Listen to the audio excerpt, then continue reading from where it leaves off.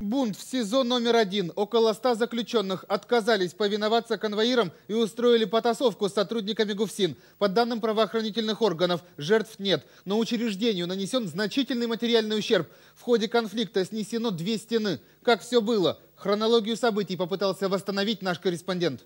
Волнения в СИЗО номер один начались еще днем. Накануне бунта в СМИ начали поступать звонки от осужденных и их родственников с жалобами на плохие условия содержания, отсутствие медицинской помощи, теплоснабжения в камерах и еды.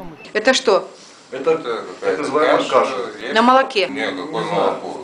Тут вряд ли, нет молока. Стол шатается, лавочка, вот она, на, на нее сел и держишь еще равновесие, чтобы, не дай бог, не упасть. Размеры нар не соответствуют то есть, установленным э, стандартным есть Обстановка накалилась к полуночи. По данным ГУФСИН, акцию протеста начал один из осужденных, при котором был сотовый телефон, несмотря на то, что аппарат входит в список запрещенных в СИЗО предметов. Заключенный отказался выполнять требования конвоиров выйти из камеры. Кроме того, он убедил других арестантов взбунтоваться против сотрудников изолятора.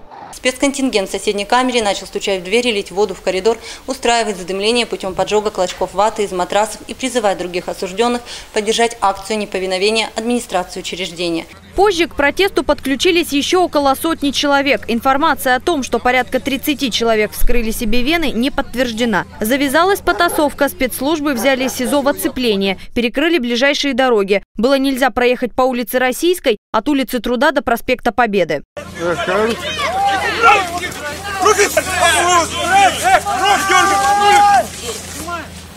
Позже главный прокурор области Александр Войтович сообщил, инициатором волнений стал заключенный Верхнеуральской тюрьмы, которого привезли в Челябинск в качестве свидетеля для участия в суде по делу о беспорядках в шестой колонии Копейска. То, что мы требуем, это обосновано железно.